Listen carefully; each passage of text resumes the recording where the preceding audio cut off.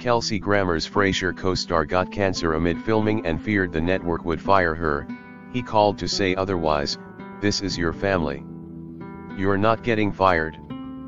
Frasier revival actor Toks Olagundoye revealed during a recent interview on The Kelly Clarkson Show that she received a personal phone call from co-star and leading man Kelsey Grammer during the production of the show's first season ensuring that she would not be fired and her role would not be cut down amid her cancer diagnosis.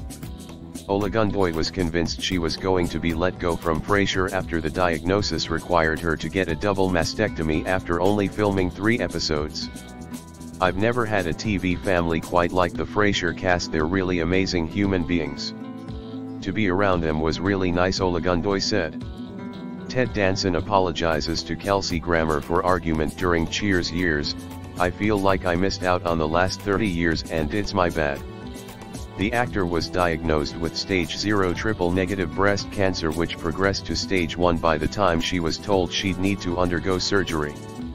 Olagundoye was 46 years old at the time and went on to have three surgeries followed by chemotherapy in the weeks before Frasier started shooting.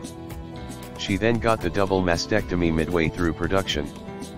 I said listen if you have to fire me I've only been on three episodes so far make me a guest star or whatever Olagundoye remembered telling the show's producers who assured her she would not be fired. However the actor still expected to hear from the network at any point and said, I am sure I'm being fired any second. I see Kelsey's calling later and I was like yep this is it getting fired right this second she continued. He was very emotional he didn't realize what I was going through and he said I know how actors think I want to let you know this is your family you're not getting fired we're going to do whatever we need to do to make you feel comfortable.